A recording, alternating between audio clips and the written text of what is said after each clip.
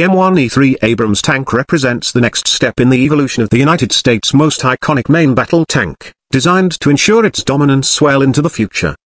Since its introduction in the early 1980s, the M1 Abrams has been the backbone of American armored forces, combining heavy firepower, advanced protection, and mobility. Over the decades, it has undergone multiple upgrades, resulting in versions like the M1A1, M1A2, and SEP3. Now, with the M1E3, the US Army is aiming to prepare for modern and future battlefield conditions, where threats are becoming more complex and technology is advancing rapidly. The new model is not just an incremental update but a major redesign meant to keep the Abrams relevant against near-peer adversaries and evolving challenges. The M1E3 Abrams is being developed with a strong focus on survivability and adaptability. Unlike earlier upgrades that mainly added layers of armor or electronics, the E3 version seeks to address the tank's growing weight, which has become a serious concern. Over time, with each new protection system, the Abrams grew heavier, reaching over 70 tons in some configurations. This not only limited mobility but also created logistical difficulties, such as transporting the tank across bridges or on transport aircraft. The M1E3 aims to cut down unnecessary weight while maintaining or even enhancing its level of protection.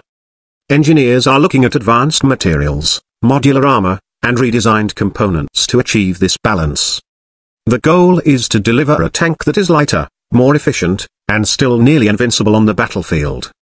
Another important aspect of the M1E3 is its focus on crew survivability in the face of modern threats like drones, loitering munitions, and precision-guided weapons.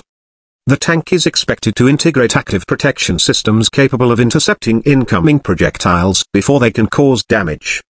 Additionally, it will likely feature improved situational awareness through advanced sensors, thermal sights, and potentially artificial intelligence-assisted targeting systems. This will give crews a clearer picture of the battlefield and help them respond faster to threats. Connectivity is also a major priority, with the Abrams E3 designed to operate seamlessly within the U.S. Army's digital network, enabling real-time data sharing with other vehicles, aircraft, and command centers. Power and mobility are also being rethought for the M1E3. The classic Abrams is powered by a gas turbine engine that provides great performance but is fuel-hungry and requires significant maintenance. Future models may incorporate hybrid power solutions to improve efficiency, extend operational range, and reduce the logistical burden of fuel supply. A hybrid system would also allow for silent operations, a valuable advantage in modern combat scenarios where stealth can be as important as firepower, the suspension and drivetrain may also be upgraded to handle the redesigned structure and to enhance maneuverability across rough terrain. The M1E3 Abrams also represents a shift in design philosophy. While previous upgrades simply added more to the existing platform, the E3 is being created with modularity at its core. This means parts of the tank can be upgraded or replaced more easily as technology evolves. Instead of waiting decades for a new version, the Army can swap out armor packages, electronics, or weapons to match emerging threats. This modular design not only extends the service life of the Abrams but also makes it more adaptable to the uncertain demands of future conflicts. In essence, the M1E3 Abrams is more than just a new tank it is a response to the changing face of warfare. It acknowledges that the battlefields of the future will be contested not just with tanks and infantry, but with drones, cyber warfare, and long-range precision weapons.